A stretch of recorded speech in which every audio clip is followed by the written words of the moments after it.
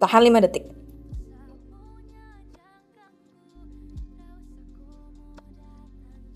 Turun, relax lagi semuanya. Bisa agak stretching dikit. Ulangin lagi 10 kali. Naik. Sekarang kakinya naik pelan-pelan. Sambil tetap di posisi, jadi jangan sampai goyang. Kuncinya bisa stabil kalau TVA sama pelvic floor-nya nggak lepas.